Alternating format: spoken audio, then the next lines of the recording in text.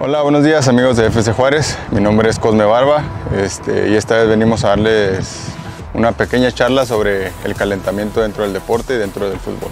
En el programa de preactivación nosotros lo que hacemos es trabajamos una parte que es aeróbica, muy, muy leve, en la cual nosotros subimos a los jugadores a la bicicleta, que caminen ahí en la, que trabajen en la elíptica o que hagan alguna actividad en la caminadora y después de eso eh, los ponemos a hacer algo de movilidad.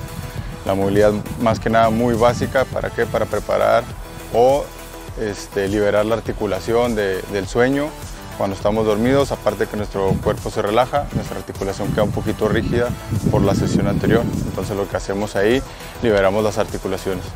Además de eso, nosotros también este, realizamos una parte de activación muscular. Prácticamente lo que hacemos es movimientos para liberar el músculo de la tensión y eso nos va a ayudar a, tener mejor, un mejor desempeño durante la práctica.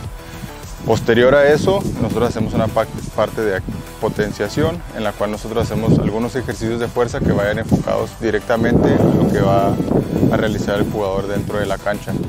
Una vez que terminan la parte de preactivación, pasamos a la cancha en la cual ahora sí preparamos los tejidos para la práctica del fútbol del día a día.